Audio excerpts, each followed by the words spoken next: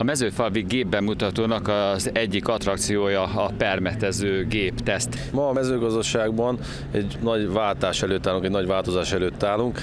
Elég sok az elavult régi technika, akár csak a permetezőgépek terén is, és ez a bemutató ez pont arra szolgál, hogy a gazdák egy olyan gépet tudnak maguknak választani, ami az ő elvárásaiknak megfelel.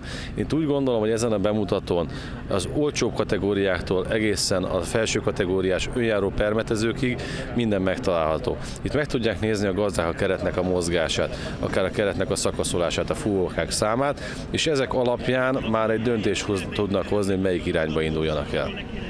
Egy szántóföldi bemutatót is rendeztek önök külön a saját gépeikkel. Igen, itt Mezőfalván egy két hektáros próbapályát állítottunk ki a nagy közönségnek, és itt naponta háromszor tartottunk bemutatót. Itt ezen a próbapályán megnézhették a szántás nélküli talajművelésnek az eszközeit, és a mélazításnak az eszközeit, és itt megnézhették, hogy mik azok az eszközök, amivel a talajunk vízháztartását kedvezően tudjuk kihasználni.